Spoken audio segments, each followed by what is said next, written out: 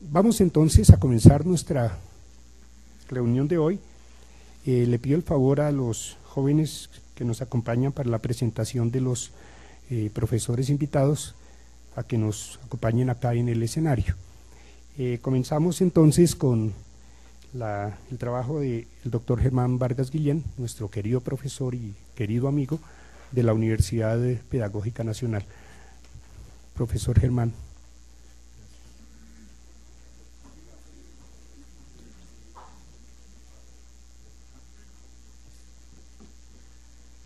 Eh, bien, muy buenos días. Mm, voy a hacer la presentación del doctor Germán Vargas. Entonces decimos que el doctor Germán Vargas Guillén es profesor de la Universidad Pedagógica Nacional, magíster en Filosofía Latinoamericana de la Universidad Santo Tomás, doctor en Inteligencia Artificial y Procesos de Razonamiento de la Universidad Pedagógica Nacional y postdoctor en Fenomenología de la Universidad de Arlington en Texas, Estados Unidos. Es director del énfasis de filosofía del doctorado interinstitucional de la Universidad Pedagógica entre sus publicaciones tenemos La experiencia del ser en 2005, Pensar sobre nosotros mismos en 2006, Ausencia y presencia de Dios en 2011, Fenomenología y formación del mundo de la vida 2012 y es miembro del Círculo Latinoamericano de Fenomenología y director del Grupo de Investigación, Filosofía y Enseñanza de la Filosofía. Profesor, buenas tardes. Bienvenido.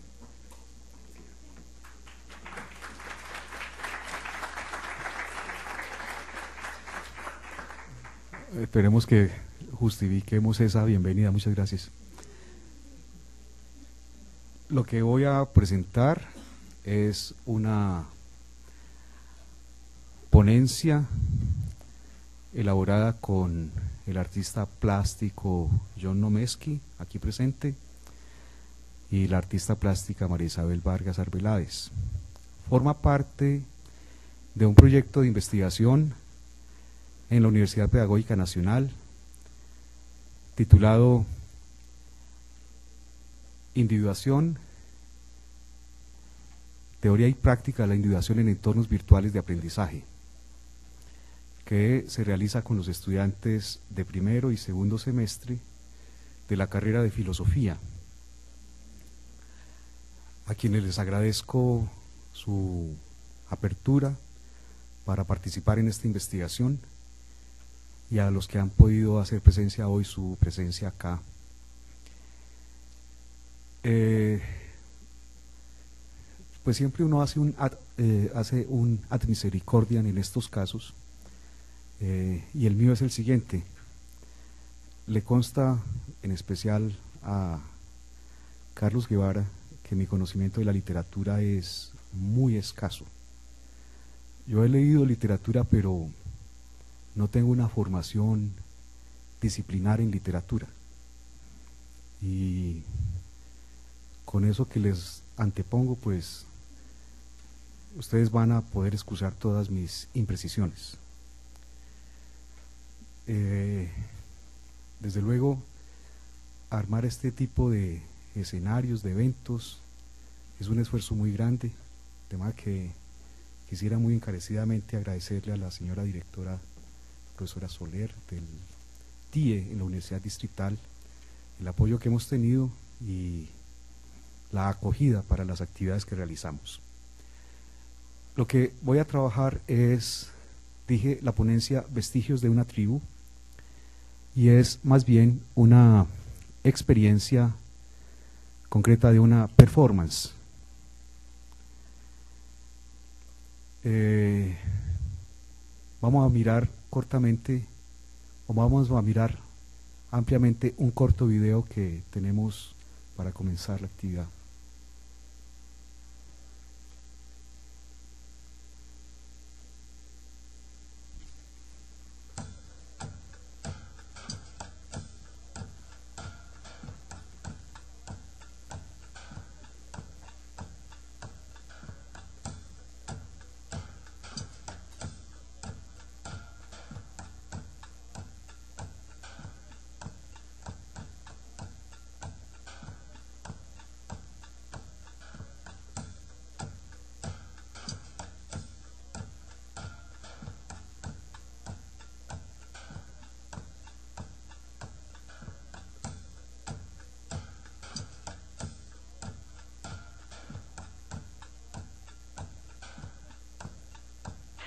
Natural, me veo, me veo colorida, me veo dulce.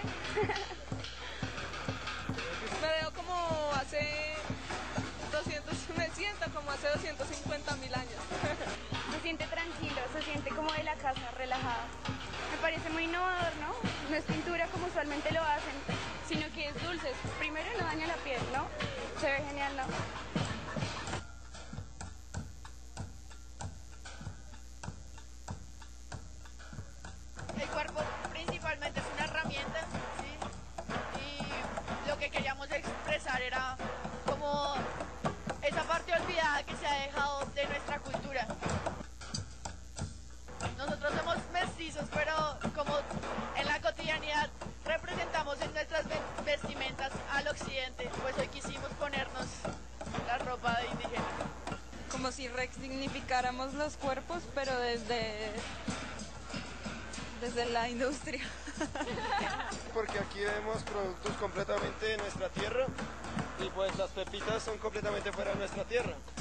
Representación de lo que probablemente fueron nuestros orígenes antes de la colonización, del descubrimiento, por decirlo así, de América.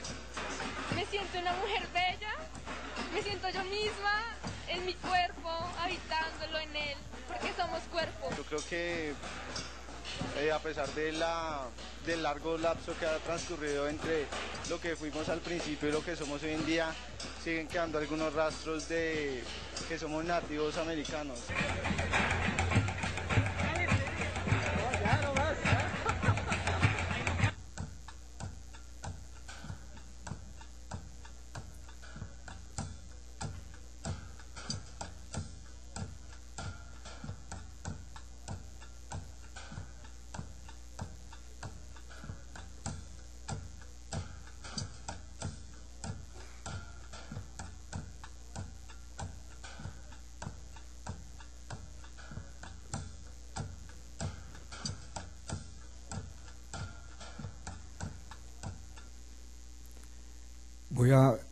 Presentar una discusión filosófica y en parte pedagógica o didáctica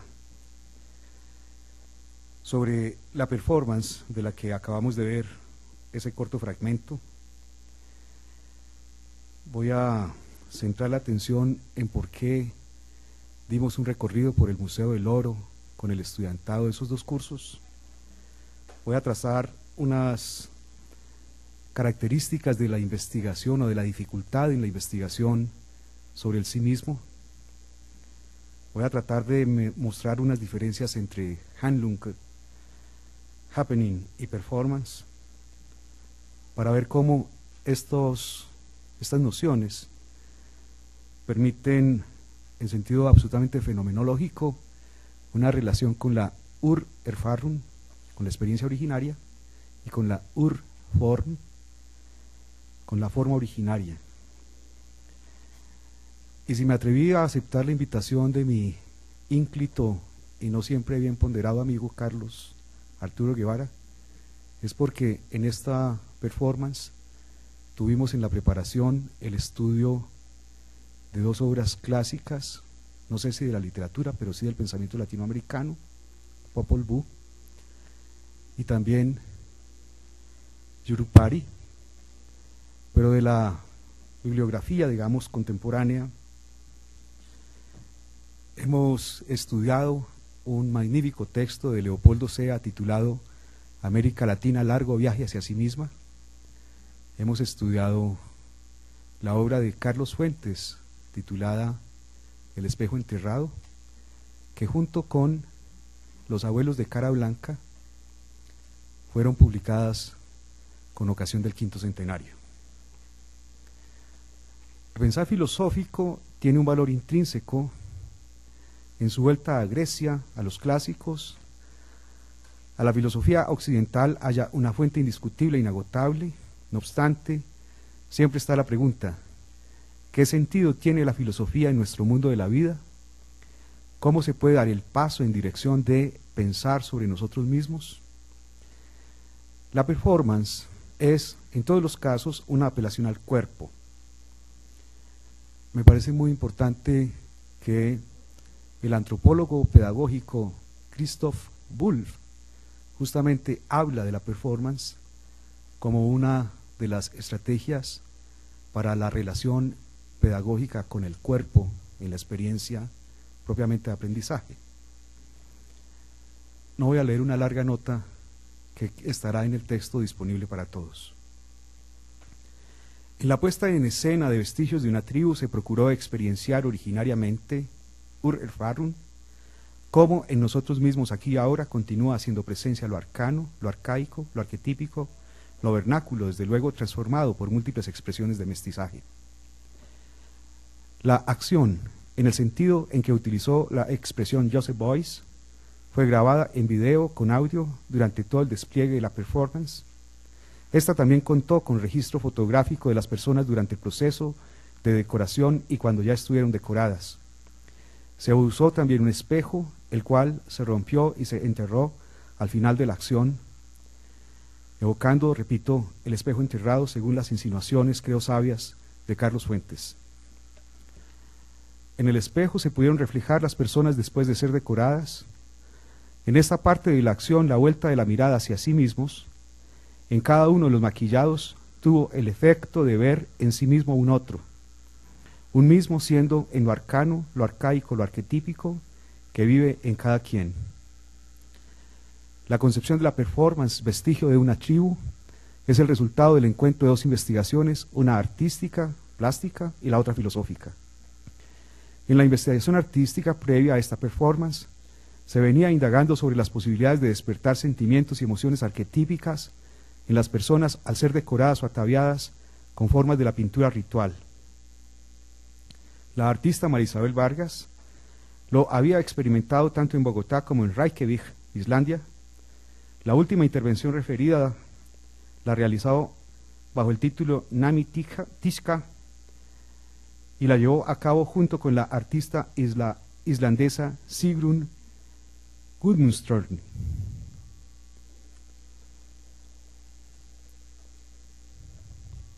La performance miró la presencia en la actualidad de lo arquetípico en lo contemporáneo. Esto se indica en este proceso con el uso de dulces en vez de pintura convencional para la decoración o atavío de los cuerpos. Esta experiencia se había realizado con personas de diferentes países, Colombia, Islandia, Estados Unidos, por lo tanto de diferentes etnias, y se había observado previamente en todas ellas respuestas similares que reflejaban estos arquetipos. Por el lado de la investigación filosófica, se había indagado sobre la individuación, tanto desde el punto de vista teórico, en especial a partir de la obra de Gilbert Simondon, como a través de la atención individualizada a los estudiantes en los cursos referidos en el entorno virtual Moodle, en particular con la herramienta portafolio. La individuación, según mi manera de entenderlo o de interpretarlo, y creo que del grupo, es que la individuación es exactamente la contrapartida de la masificación o de la estandarización o de la, digamos, regulación, normalización. En el encuentro entre estos dos proyectos se abordó la pregunta por lo ancestral que habitó específicamente en estas tierras, lo que generó la salida de campo al Museo del Oro de Bogotá, en donde se tomaron como referente los objetos de decoración ritual de las tribus indígenas precolombinas expuestas allí, como base para realizar objetos con dulces, tales como diademas, brazaletes pectorales, los cuales fueron usados para esta performance. Van a relatar cómo hicimos nuestro periplo por el Museo del Oro. El Museo del Oro, ahí siempre en la cercanía del habitante de la ciudad de Bogotá, emblemáticamente iniciada su colección con el poporo de la cultura quimbaya, la de mi pueblo. Desde luego, como museo, es objeto de la crítica según la cual muestra sedimentos de historia que han perdido ahí en colecciones su fuerza y poder original. Es, debe recordarse, lo que Nietzsche denominó y a su vez criticó como historia monumental. ¿Cómo integrar el museo a lo que se ofrece en o a una reflexión filosófica sobre nosotros mismos? No hay duda, cualquier colombiano ha encontrado una huella, una imagen, un vestigio de todo lo que fue esta América prehispánica, precolombina, tiene pasiva o activamente un conocimiento de ella, pero ¿cómo revivir esta memoria? De ahí la necesidad de planear y llevar a cabo en el conjunto de esta acción Hanlung una, una visita al Museo del Oro. ¿Qué observar en él? Desde luego lo ancestral del proceso de extracción mineral, el juego y los procesos técnicos asociados a la orfebrería, pero de manera temática y atencional, la línea de tiempo. Esto es una de las partes más interesantes del Museo del Oro, cuando nos muestra cómo esta, nuestra América, era mucho, mucho, mucho, mucho más antigua que las culturas que llamamos antiguas, y que le da fuerza y sentido al poema de Neruda, antes de la peluca y la casaca, fueron los ríos, ríos arteriales, etc.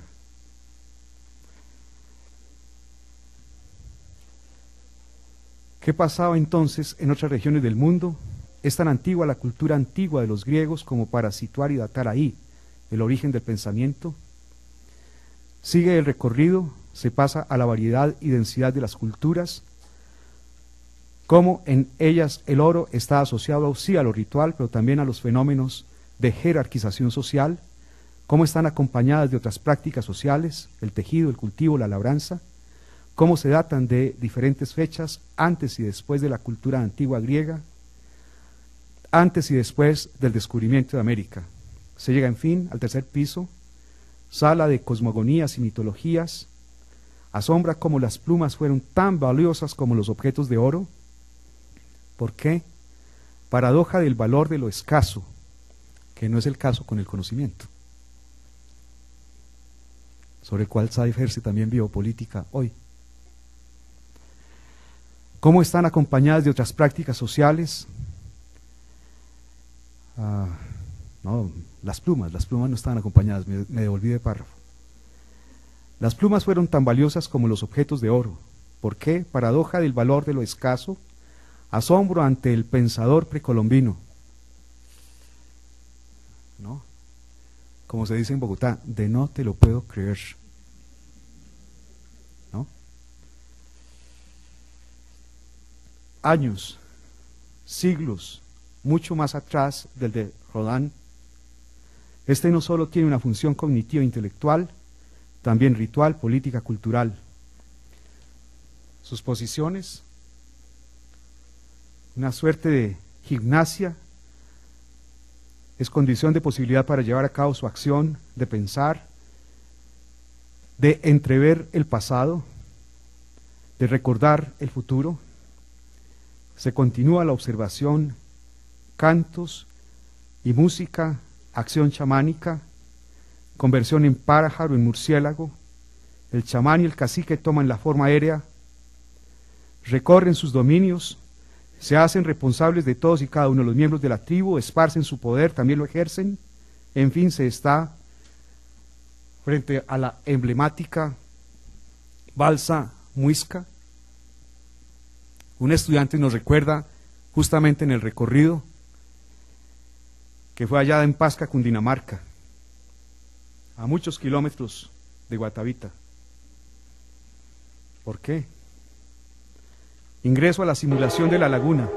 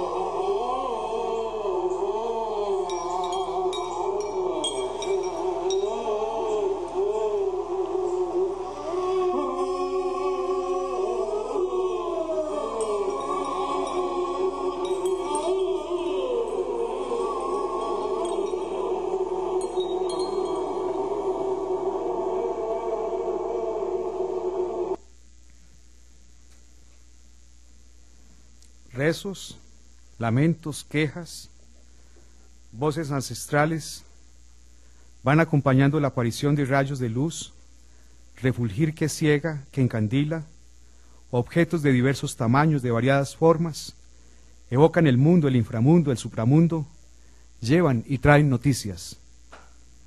Ni siquiera se alcanza a pensar en el valor económico de las piezas, de los objetos de la colección. Todo está a la vista, tanto que ver. Ahora la simulación evoca, como cayendo al fondo de la laguna, la variedad de ofrendas. Es la oscuridad del fondo iluminada por destellos del sol, de las manos de los hijos del sol, que van llegando hasta el lecho y toman la calma de la oscuridad. La luz se apaga, termina el recorrido, ahora son vivencias que dan que pensar, que hay que pensar, que nos llevan a pensar, a pensar sobre nosotros mismos. ¿Qué dificultades se encuentra al investigar sobre nosotros mismos? Es bien sabido de la inscripción que Sócrates encontró en el oráculo de Delfos y que convirtió en lema de su pensamiento. Conócete a ti mismo. También lo es la sentenciosa frase de Heráclito, por supuesto anterior, ¿acaso más grave? Me he investigado a mí mismo. Es como si el destino histórico de la filosofía en su origen, socrático y presocrático, pusiera, como primer anclaje de todo proyecto de conocer e incluso de ser, la vuelta sobre sí mismo, que este destino histórico llegue a variarse o a transformarse, apelando a sí mismo como otro, como se encuentra en la ética mínima de Paul Ricoeur, no le resta prioridad a ese punto de partida, aunque en todo caso lo abre a la perspectiva de la alteridad, de la filosofía de la alteridad, que también da cuenta o se enlaza con la diferencia, con el diferendo, que es en últimos el asunto de la individuación en la perspectiva ya mencionada de Simondón. Ahora bien, ¿cómo hemos de investigar sobre nosotros mismos? En el punto de partida ni somos indígenas ni somos españoles europeos. Una mezcla media la llamaba Bolívar en la Carta de Jamaica. Esa mezcla media da origen a un sentimiento de bastardía que se trasluce como vacío de identidad, según lo ha indicado Leopoldo Sea. Y no obstante, en todos y cada uno de nosotros fluyen ríos inmemoriales, como nos lo recuerda Borges en el nuevo poema de los dones. Es en nuestro propio cuerpo donde tiene que comenzar no solo la investigación o conocimiento, sino el despliegue del reconocimiento. ¿Qué fuentes configuran y convergen en el color de nuestra tez, en nuestra estructura ósea, en el color de nuestros ojos, en el grosor de nuestro cabello. Y más allá de ello, cómo se configuró la manera de nombrarnos, de dar nombre a nuestro mundo. Volvamos ahora la atención al suelo que habitamos. ¿Cómo fueron llamados en lengua prehispánica estos cerros tutelares, Monserrate y Guadalupe, de Bogotá, Bacatá? ¿En qué lengua se decía chía, Suba, Cota, Sopó, Soacha. Perdón, la lista es como de terminal. Desde luego, esto no solo requiere investigación, ya la ha habido, y buena, sin necesidad de tanto discurso poscolonialista, al contrario, en la margen de la mentalidad más conservadora del país. El Instituto Caro y Cuervo, por ejemplo, publicó la maravillosa obra titulada Atlas Lingüístico y Etnográfico de Colombia. Ahí nos reveló mucho de todo esto que ignoramos. Pero no son únicamente los sitios los que tienen una perseverancia a través de la lengua. ¿Cuántas de las palabras de la lengua que hablamos tienen un trasfondo histórico en lenguas prehispánicas y no hispánicas? Es célebre la serie Canoa, Tabaco, Tomate, pero igualmente Caribe, Chévere. Y al nombrar Chévere, no solo hay que volver la atención a lo prehispánico, indígena, viven con igual fuerza en nuestra habla voces africanas. Africanas, africano, es un contenedor excesivamente amplio y no se indica más que vagamente esa proveniencia tan amplia. Nos es más familiar pensar en el origen árabe de voces como alcohol, ajedrez, albahaca, etc. Ojalá, recordaba un estudiante en la clase, Daniela recordaba eso en la clase de ayer. Tal vez el lugar donde se hace más evidente el mestizaje es en la lengua. Y no solo un mestizaje de antaño antiguo, que solo nos llega como herencia, también meme, target, trend topic, etc. Son voces que en nuestro presente vivo se integran al habla cotidiana. No es seguro que lleguen a naturalizarse como se naturalizaron, por ejemplo, surfer o hardware. Pero en la vivacidad y movimiento de la lengua, su uso aparece y desaparece, se advierte novedoso o bárbaro o corrupto. Es la llamada corrupción de la lengua, de las voces, prevalece o desaparece su uso, como la corrupción de WhatsApp.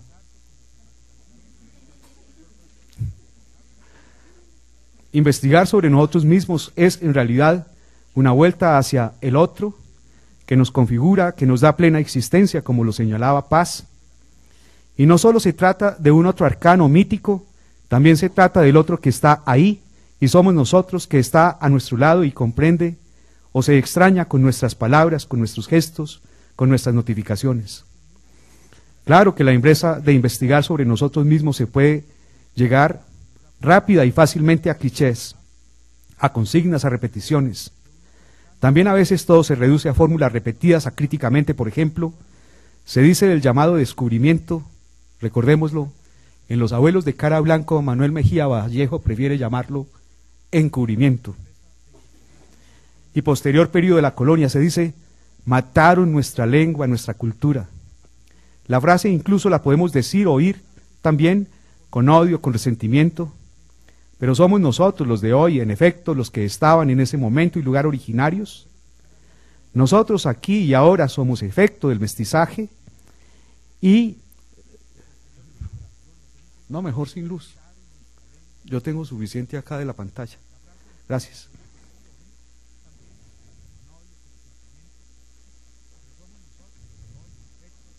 Nosotros aquí y ahora somos efecto del mestizaje, o si no lo aceptamos, al menos de la yuxtaposición, como la señala SEA.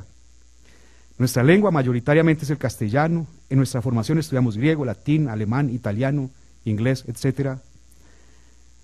Lo digo como una suerte de autocrítica, si se quiere, pero nuestro conocimiento de bayú, uva, aymara, quechua, guaraní, nahual, maya, que son lenguas vivas, es mínimo o inexistente.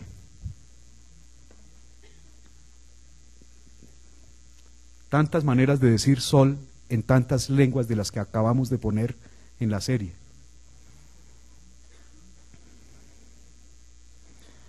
Y ni qué decir la inexistencia de conocimiento de lenguas muertas como el taíno, cancuamo, opón carare, pijao, risígaro, andaquí, yurí, betoy, chipcha, aunque se sostiene que continúa siendo una lengua viva el chipcha, zenú.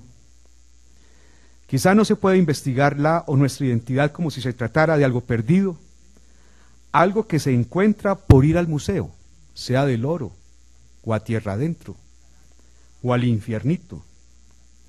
Algo que se remonta a una historia oculta o dispersa o arrasada, antes bien, tal vez tenemos que enfrentar la yuxtaposición, la mezcla o el mestizaje como punto de partida de lo que en efecto somos nosotros mismos. Dos datos entonces se hacen relevantes en esta investigación. Asumir el presente viviente como efecto o resultado de un proceso que, por cierto, ignoramos y requerimos conocer, tanto en sus componentes como en sus transformaciones. Asimismo, superar la idea romántica de una suerte de paraíso perdido, lugar al cual no podremos retornar. ¿Cómo es posible la relación con los saberes ancestrales, con las antiguas y aún vivas tradiciones ancestrales, al tiempo que tenemos la lengua castellana con todas las transformaciones que ha sufrido al posarse sobre el suelo americano, hay mitos y ritos vivos, vigentes, que siguen siendo prácticas culturales sobre este suelo. No solo son las búsquedas en parte de moda, con todos los riesgos que trae que algo se ponga de moda, por el yajé, el mambeo, el ritual de la palabra, hay a su vez mitos y ritos extendidos, no solo por las generaciones, sino también por territorios y comunidades donde se practica hoy el yurupari. También es un dato relevante preguntar desde cuándo ha sido habitado humanamente el territorio que hoy nos pertenece. Bueno, si se puede decir que nos pertenece. Aquí no solo está una cuestión filosófica, también está una discusión del asunto político y los procesos de desplazamiento. En el pasado y todavía ahora, claro, se desplaza a los indígenas, a los campesinos, pero el suelo rico en oro y metales como lo es, sigue siendo coto de caza para nuevos embates de la colonización, del neocolonialismo. ¿Qué decir filosóficamente de todo esto? ¿Cómo se asienta aquí la reflexión filosófica en este sentido racional? ¿O en este contexto qué entender por filosofía?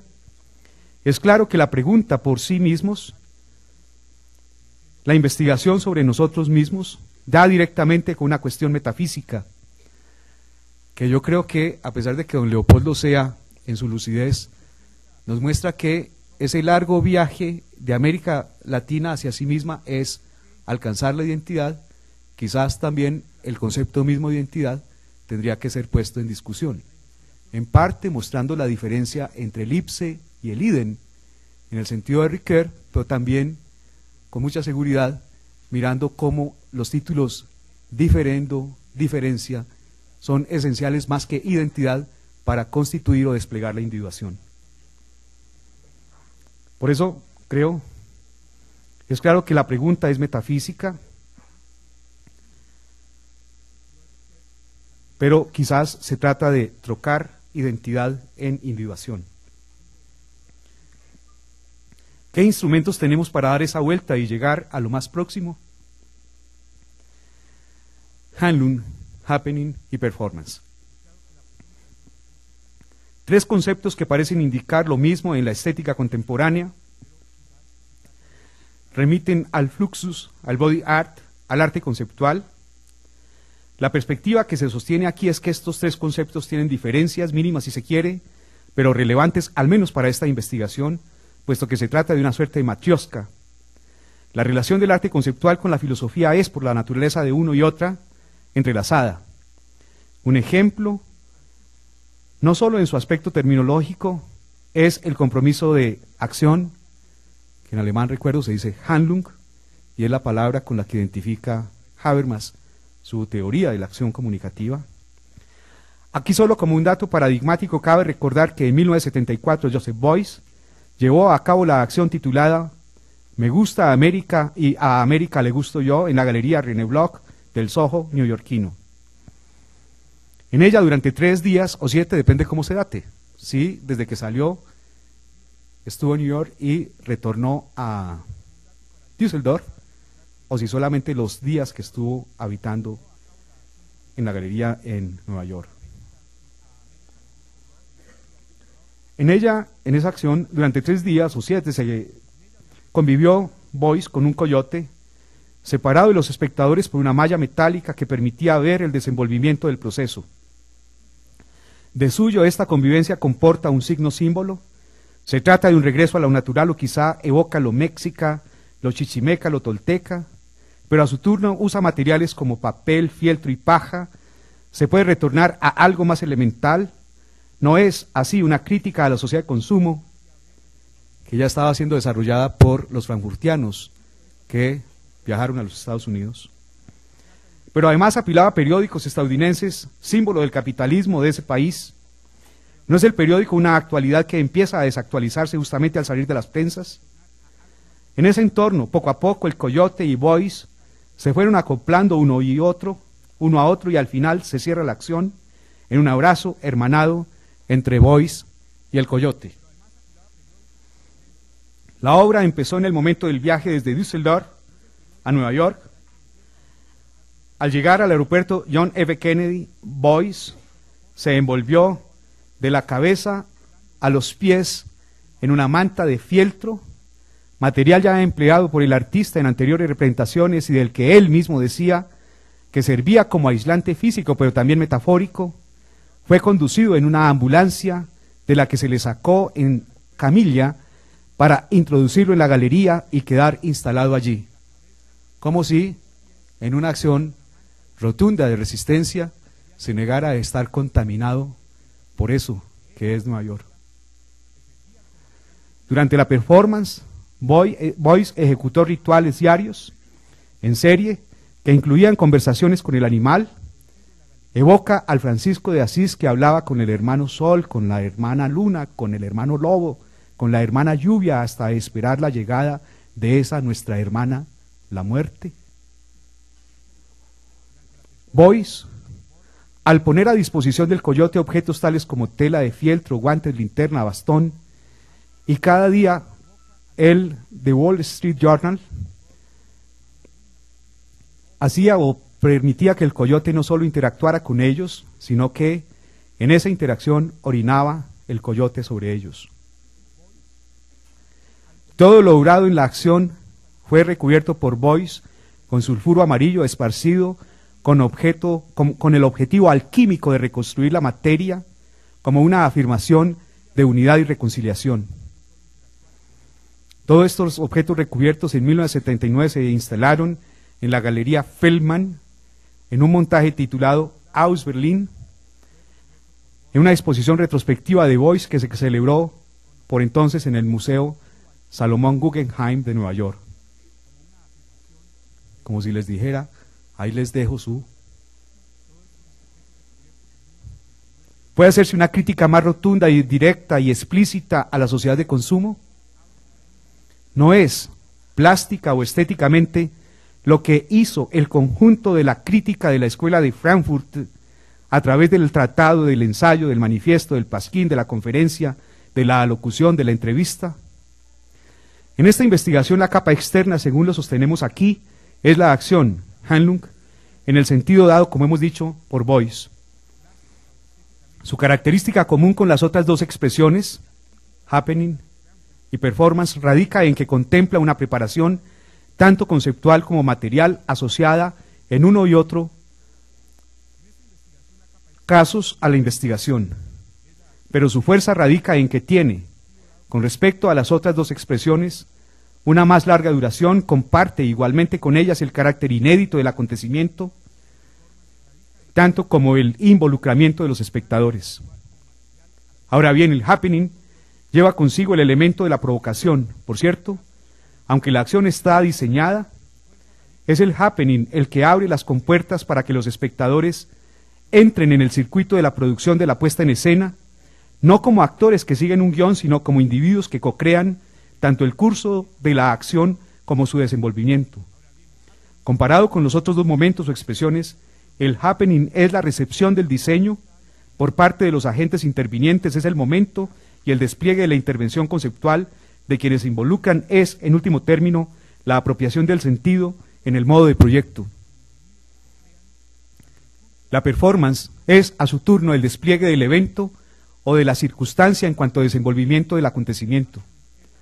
Como tal, concentra el sentido previamente delineado, pero está abierto a la novedad, como, lo, como se ha insinuado de las tres expresiones que se están aludiendo aquí, Happening Performance, es la de menos duración, pero por contraste comporta la mayor efectuación e incluso efectividad en cuanto puesta en escena.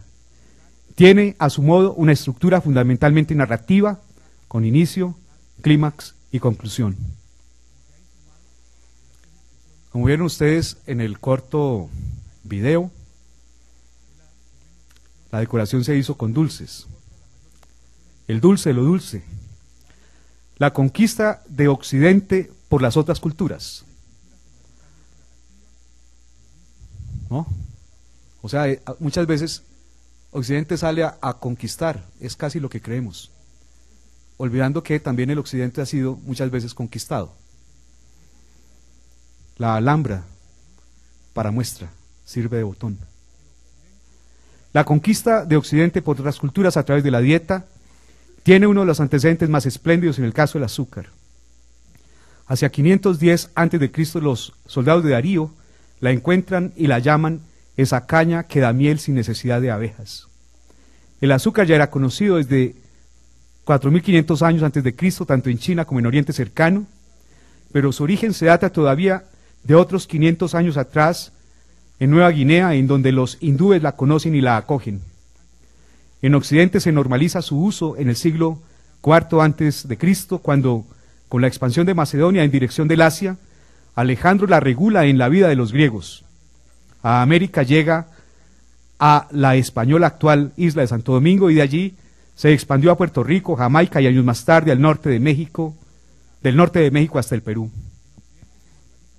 Occidente vio pues lo melífluo antes que lo azucarado. Para nosotros el azúcar está tan integrado a lo propio desde el descubrimiento que no solo ha legado el sabor, sino que se ha integrado a la música. Nuestro colega Bustamante tiene una exposición de lujo de cómo acontece esa conquista de los ritmos asociados al azúcar de toda nuestra música en general. De lujo, pero hay que hacerle almuerzo. no es que lo cambie por un plato de lentejas, tampoco es así tan...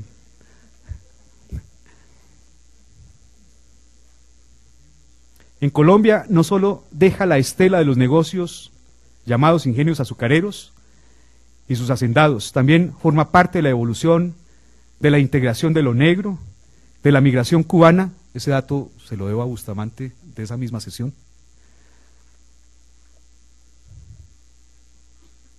Del desembarco de la salsa, nos mostró en esa sesión Bustamante, salsa es un contenedor muy amplio que comporta variedad de ritmos, guaracha, guaguancó, charanga, merengue, son, son montuno, danzón, mambo, guajiras, changüí, bugalú, cha-cha-cha, descarga, entre otros, en función con el swing y el latin jazz, que incluye en sus letras la palabra azúcar. Ustedes saben de quién. El dulce siempre es algo que causa cierta sensación suave y agradable al paladar, como la miel. El azúcar indica la RAE, pero igualmente como adjetivo refiere tanto lo grato, lo gustoso, lo apacible, así como lo que es naturalmente afable, complaciente, dócil. Desde luego, con ese adjetivo se alude tanto al gusto, al sabor, como al trato, al tacto. Su antónimo, ácido, igualmente puede usarse con las mismas funciones. En cierto modo, no hay cultura que no se procure y que no se haya procurado el dulzor en sus viandas, en su trato. Claro que deliberadamente una persona un grupo e incluso una cultura y una época dentro de ella puede renunciar a ello como privación, como expresión del ascetismo, de la austeridad. A su vez, exacerbar su uso muestra individuos, grupos imponderados, también a las culturas y las épocas como imponderadas. En la industria, por ejemplo, Monsanto, Kraft, M&M, explota el que es un placer para los sentidos, para la degustación. En la moral familiar se recuerda a lo dulce como premio, se recurre a lo dulce como premio o como castigo. La festividad familiar y las expresiones de afecto también se acompañan o se pueden acompañar de presentes tales como dulces y también a veces estos se caracterizan como suaves. Se lo asocia a una compensación, a una gratificación frente a la tristeza, a los golpes de la vida. Como en esa descripción, ustedes la recuerdan, de César Vallejo, hay golpes en la vida tan fuertes yo no sé. Lo dulce no se halla solo en el azúcar, en la miel. Las frutas y las verduras también comportan variable proporción de dulzor. Aquí, en todo ello, hay efectos biopolíticos, control de cuerpos por la dieta, por los goces o las frustraciones que produce. Es de las imágenes para mí más impresionantes de los Estados Unidos, los gordos, regordos, en carritos en los supermercados sin cesar de consumir. El dulce en vestigios de una tribu como objeto comporta diferentes significados que lo pone en un nivel simbólico de la sociedad y la cultura. Entonces es posible analizar las diferentes formas como se estructura la sociedad y la cultura desde el dulce. El dulce tiene la capacidad de producir calorías, energías. El dulce es un depósito perenne de energía la elección del dulce proviene de un impulso estético y sensitivo en esta performance. El dulce aparece de igual modo como provocación desde el color, desde las formas, desde el sabor. El dulce sobre el cuerpo puede leerse como una incitación, provocación erótica de mirar al otro con deseo, el deseo que es propio de la sensualidad. Último fragmento, el espejo. Recuerden ustedes ese fragmento de Borges, el rojo espejo en el que arde una ilusoria aurora. Como nos lo mostró también Borges, el espejo duplica nuestra imagen, duplica virtualmente de manera indefinida el mundo, como nos lo dice en las cosas, nos siguen como tácitos espejos, son en sí la maravilla y el horror de la repetición, también el de la representación, son tan cotidianos que nos acostumbramos a su enigma. Espejo de los enigmas es otro de los relatos de Borges. También se ha dicho que toda nuestra visión del presente no es más que visión en espejo confuso, pero que luego conoceremos cara a cara. Los espejos se sitúan como una antesala para salir y para entrar a la casa, a lo más corriente y a la mano.